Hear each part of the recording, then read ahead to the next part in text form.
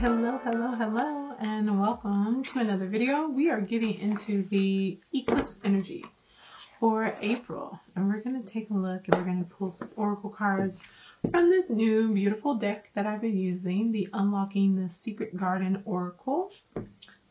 I love these cards. Look how gorgeous they are. Just beautiful. Let me turn, I think I have too much light coming in. So let me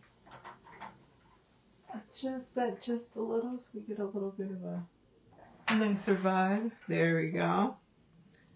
Yes. So, I'm in love with this. I think they're the most gorgeous cards and they're perfect for that springtime vibe. So, we're going to get into it.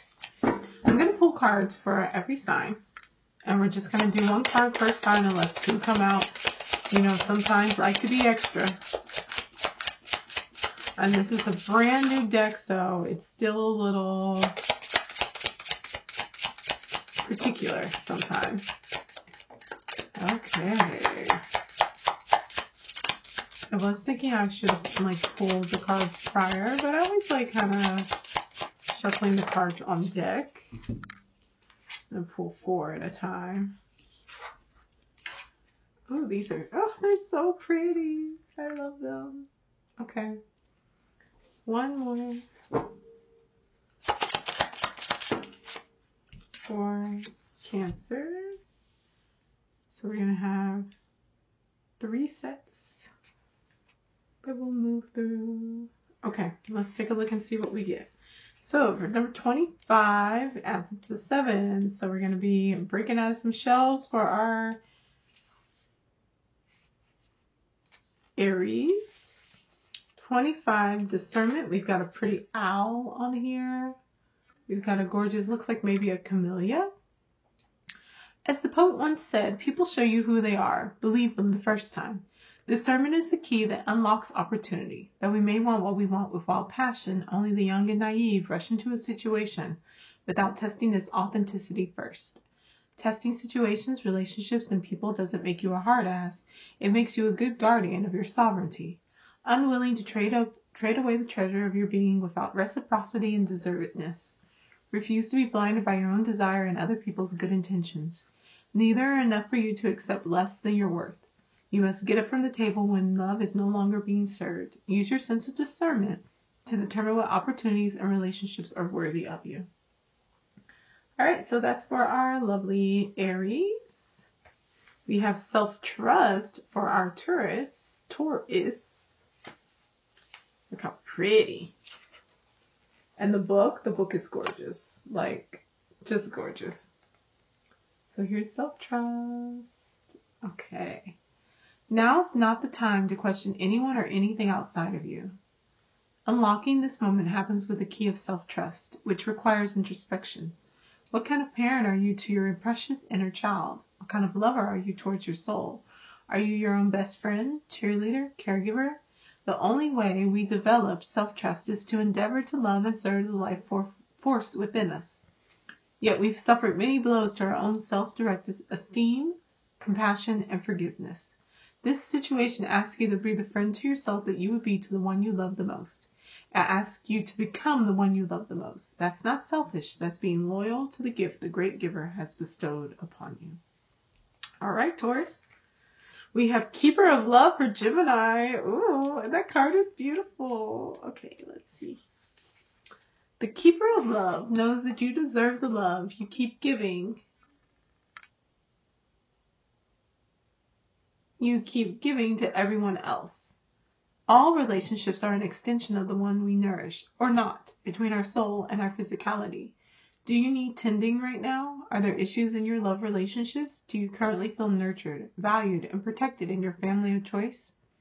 Evaluating your love needs from the root of the issue, the love between you and you, is the key to unlocking what's before you. You teach people how to treat you. see if I can Sorry, I'm moving her around. She's a little, there we go. She, she focused for a moment. Um, admit, admit to your very own self and then look for ways you can show up to your own needs with love, nurture, and inclusion. Become an embodiment of the keeper of love and lavish your life with tender, tenderness. You deserve nothing less. And then lastly, for number four, for our cancers, the fourth uh, sign, we have the keeper of the waves. Oh, this sounds watery. Very appropriate for our lovely cancers. She has a little fish above her too. How cute! Okay, the Keeper of Waves is here to encourage you to honor your natural rhythms. The high tides and the low tides both have a purpose for your growth. Allow them to ebb and flow as they need to. Don't judge the shores of your life based on how much shell treasure is on the beach, how high the water is, or how dry the sand has become.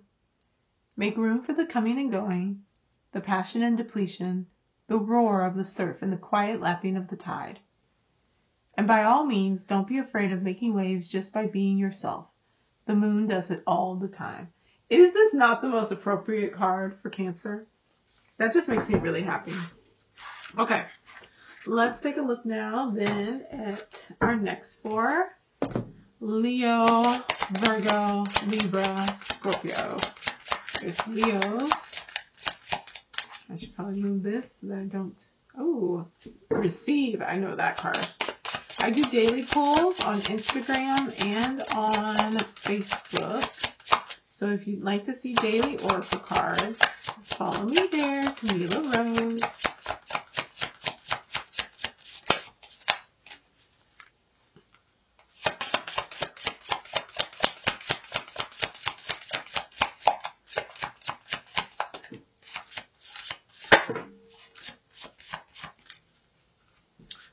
I think I've seen Keeper of Time too. That's for Libra.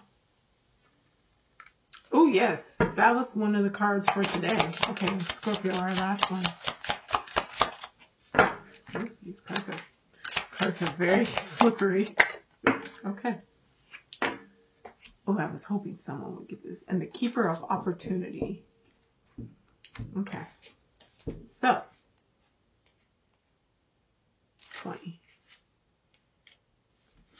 Leo's got receive.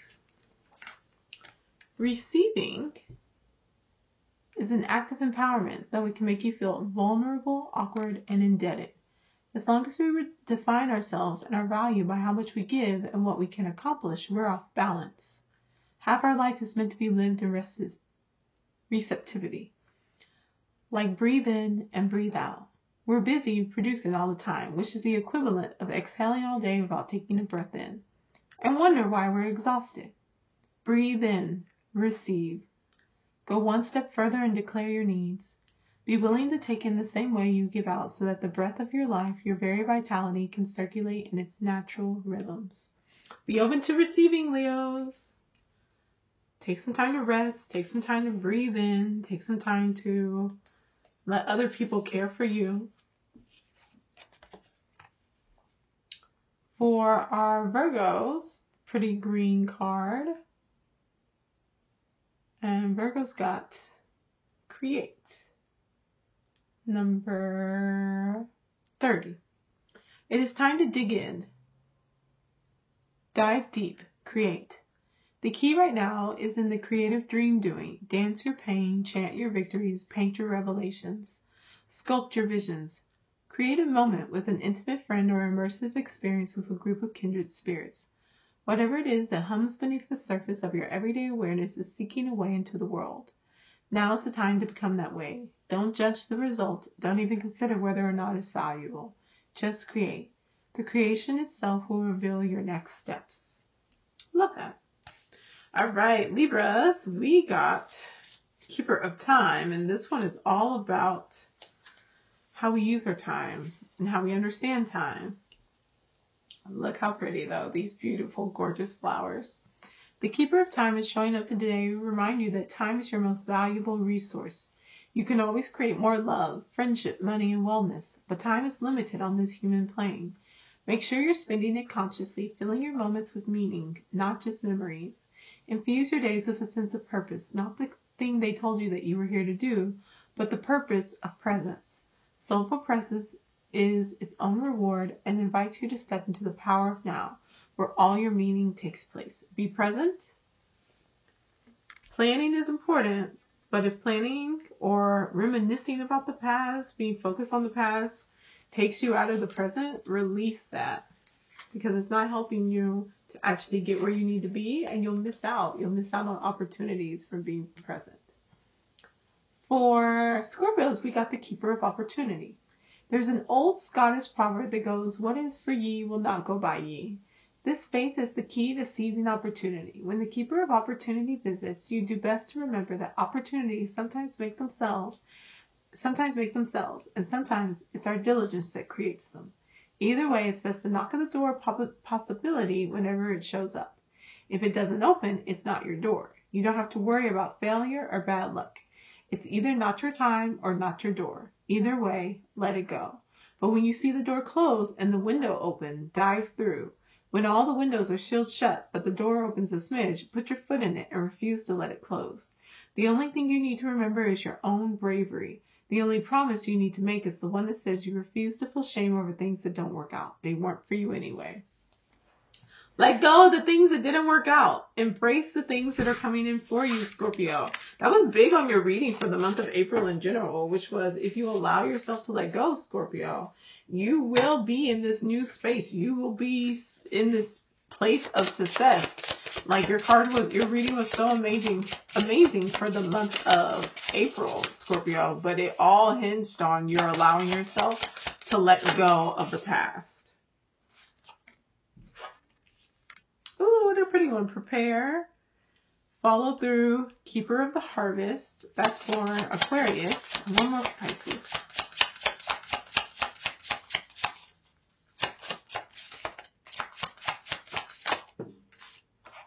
Okay. Ooh, and keeper of pleasure for Pisces. Gorgeous. Okay. Ah, so this is Sagittarius, got 35. Prepare.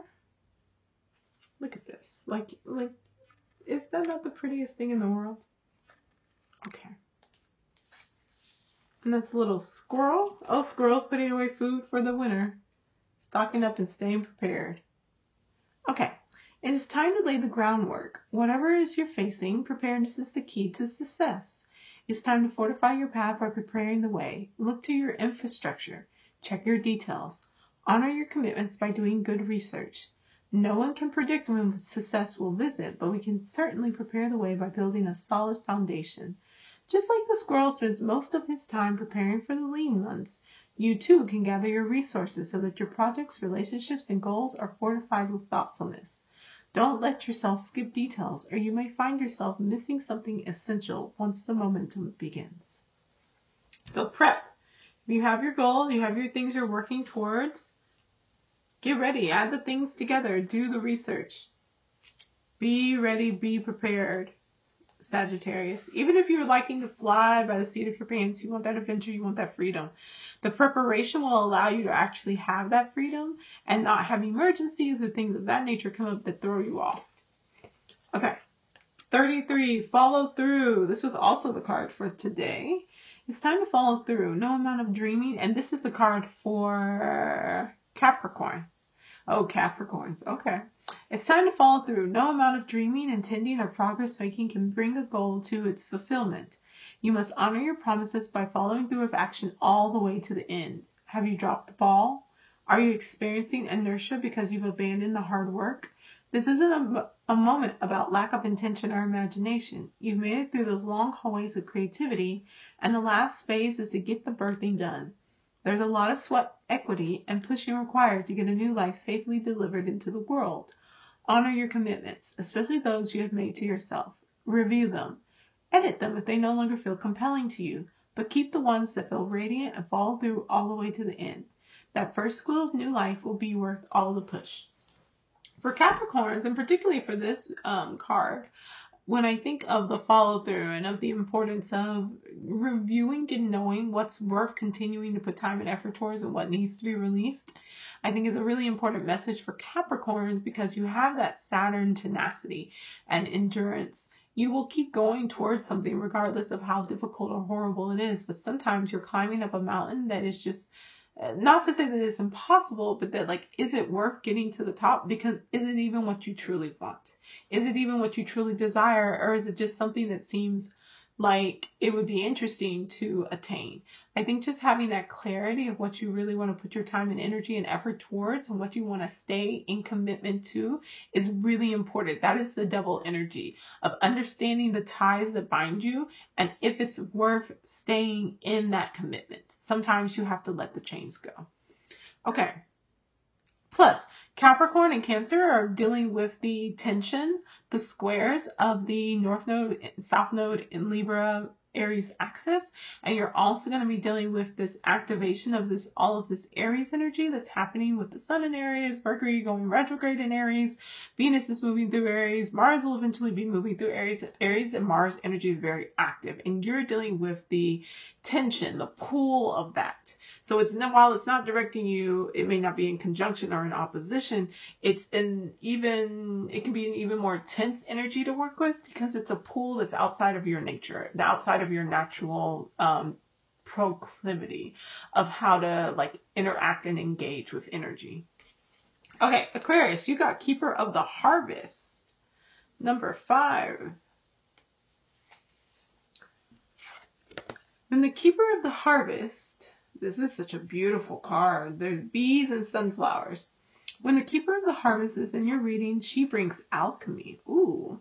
You also have that Pluto that's moving through your chart. And then in May 2nd, we have Pluto going retrograde. So it will be in your, in Aquarius at the very beginning degrees of Aquarius for a couple of a bit longer and then it will retro be starting on its journey back to retrograding back into Capricorn. So again, not to bring up Capricorn when I'm talking about Aquarius, but you do, you two do share that Saturn energy. And so Capricorn is again, there may be, especially for those final degrees in Capricorn folks, this kind of rocking of your world and this needing to kind of research, reassess your situation, recommit to things.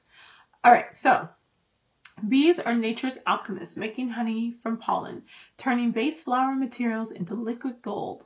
Long associated with the goddess, the bees invite you to work your own alchemy, to take the sorrows and disappointments of your life and turn them into grace, experience, and wisdom. It's time to invoke compassion for yourself. You must remember there will be times when you will, could not possibly have known or done better and must forgive your own ignorance. When you know better but don't do better, self-compassion can help you grasp what the underlying trauma might be that prevents you from acting with integrity. Self-compassion and understanding are galvanizing forces of transformation and self-cultivation. You're being invited to alchemize your pain and disappointments rather than sink into the stagnant gravity of self-condemnation. Aquarius, be kind to yourself. Transform. Pluto is eventually going to fully move through your sign. It's going to take a couple of years, a good amount of years, about 10 years, 10, 15 years. It's going to take some time to move through. But as it does, it's going to transform things. It's going to pull you into different spaces. It's going to have you take a look at your life. Be willing to be brave and to be honest as you stare down into that face of rebirth, of chaos, and find the stability and ground within yourself. Okay? All right. So that's for Aquarius. And last but never least, we have our wonderful eight, the keeper of pleasure. A delightful card for our delightful Pisces. Indulging your pleasure is key to unlocking shame. We've been taught to steal our joy like a thief. We sneak chocolate. We steal time for our creative acts. We rarely put play on the calendar the way we do with work. We conduct a lot of our sex in the dark. But acts of pleasure are an essential part of the human experience and deserve to be indulged, honored, prioritized. The keeper of pleasure is here to remind you of the poet's derivative, directive. Follow your bliss. It's a means of directing you towards your soul's calling. When you experience pleasure, the kind that opens you up to radiance, you are moving towards your highest self. Whether it's making art, relaxing in nature, picking out a new pair of shoes, eating a cookie, or treating yourself to an orgasm, pleasure expands your well-being, health, and mental clarity. Time to have some fun, Pisces. And Pisces, your reading was very interesting as well. I can remember your reading for um, April just a bit, and it was really centered on doing some healing related to the mother, um, and in finding that space where you can get in touch with this caring for yourself in this way, prioritizing, not sacrificing your inner child, the joy that comes from that, the freedom that comes from that, the invitation and invention that comes from that. I love it. All right, well, that is going to be it for all of our signs. And happy eclipse. Take care of yourselves. Be safe. I love you. I'll see y'all later. Bye bye.